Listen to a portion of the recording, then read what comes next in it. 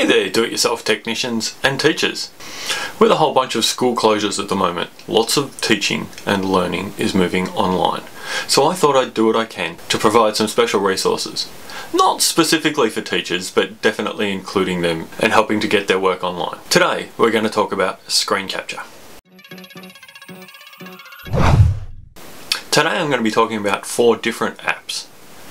The snipping tool, Snip and Sketch, iSpring FreeCam 8 and Screencastify.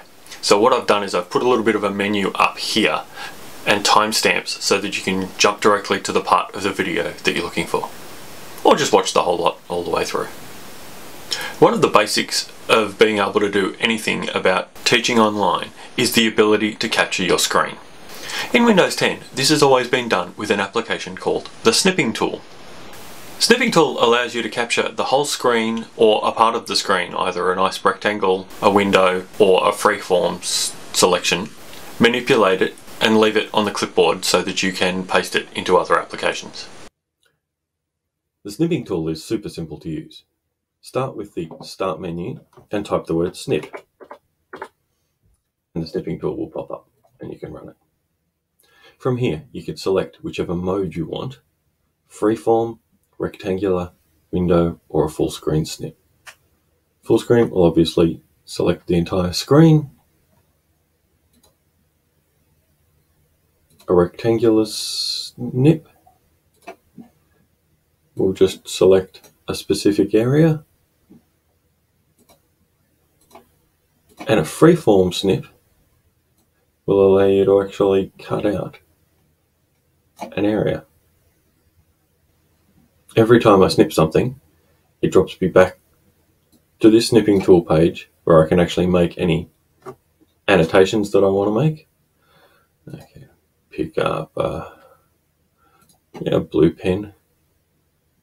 And I can actually say,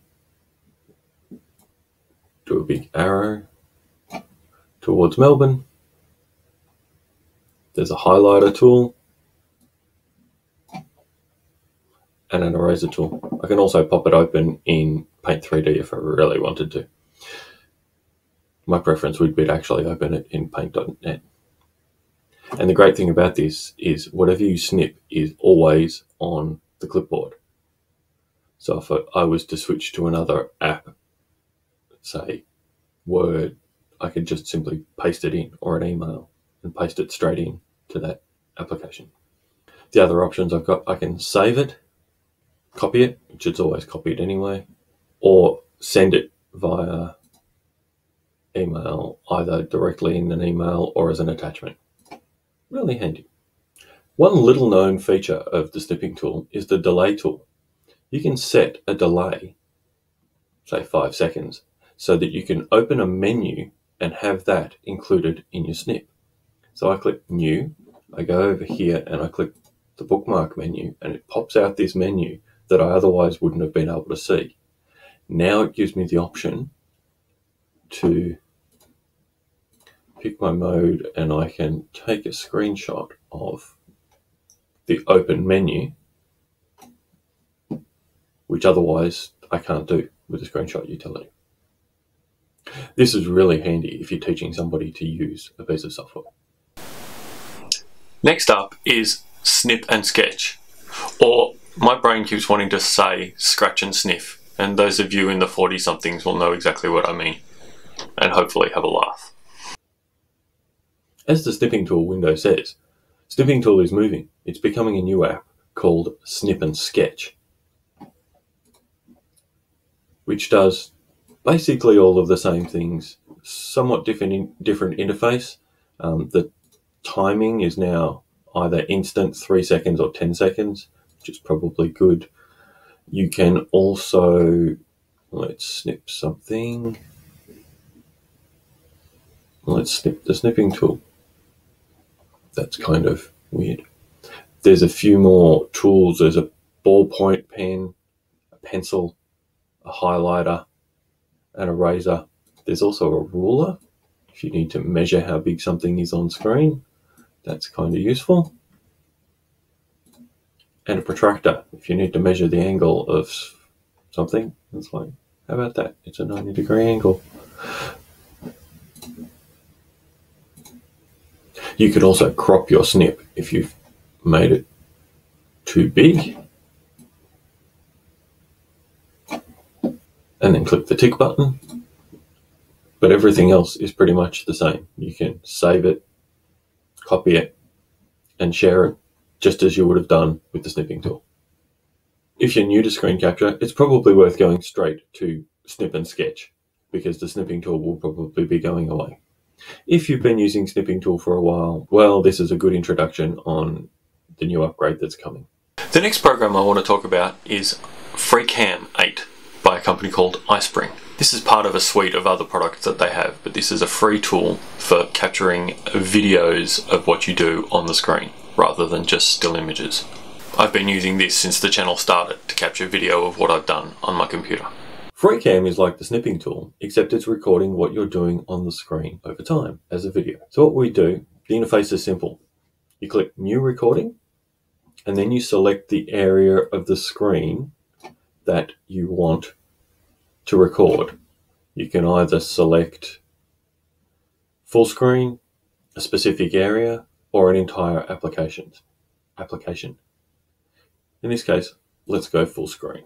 So you can see that it's showing the dashes in the corner of where it's going to record. Audio is not recording in this case. There are some settings in here, like the key to pause and resume, which is really important, and the key to stop.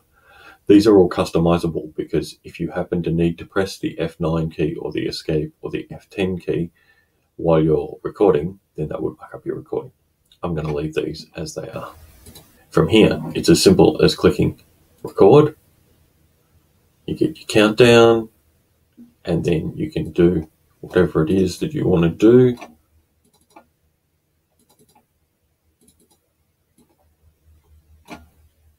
And you're done. And then when you're finished, you press escape. When you're done, you're presented with the file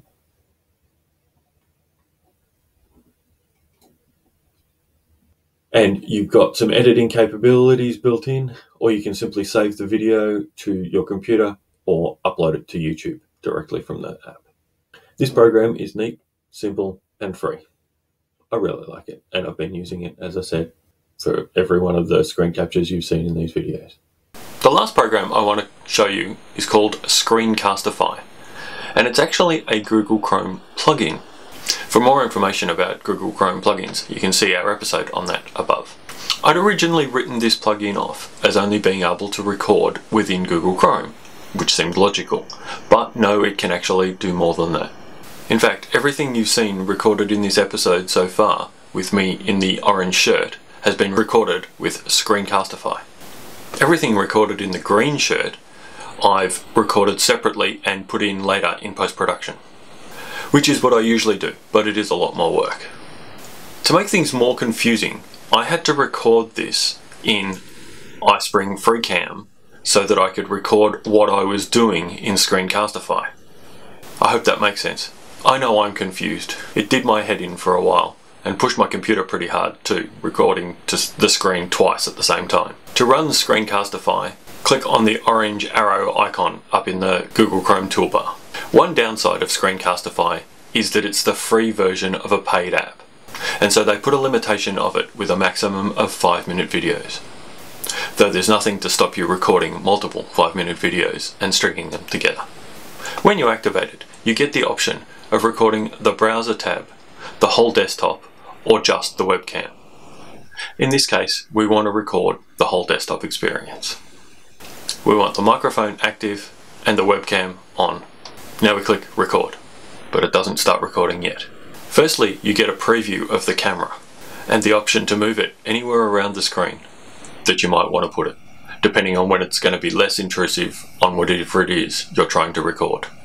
And you also get to select whether you want to record the entire screen or just a specific application. We're going to click on the entire screen, click on the screen, and then click share.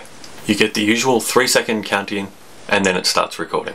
There are extra tools here that you can use while you're recording. A pen tool, an eraser tool, and an option to highlight with a red circle where it is that you're clicking when you click the mouse. Then you can record whatever it is you want to record, and when you're finished, click the Stop Sharing button. By default, all recordings are saved to your Google Drive. You can rename this clip by clicking on the name up at the top and giving it a new name. They have a built-in editor, which you'll see next week, and options to share directly to Google Classroom and YouTube. And there's also options down below to save as a WebM file or download as an MP4. All in all, I really like this program. I think it works really well, especially the webcam extension, which will save a lot of time during editing. And you'll probably see a fair bit more of it on this channel. The 5 minute limit is a little bit of a pain, although it's not massively expensive to upgrade to the full version. But it will be a bit of a pain for teachers starting out, putting their classes online. But then it actually depends on the attention span of the kids you're trying to teach. Sometimes 5 minutes is a good place to stop, do something else, and then come back with another tutorial. Basically, just breaking it up into smaller sections. Thanks for watching. Next time, we'll be linked up here. A bit of a tutorial on video editing packages and which one might be the best for you. My question for you is what do you want to learn about? Leave a comment for me down below and I'll see what I can do to help you out. The Tech Doctor exists to help you teach online and become your own technician. We have some old episodes that you may not have seen before, here and here. And if you click the subscribe button down here, you won't miss any new episodes as they come out. Thank you so much for watching, and have a great day.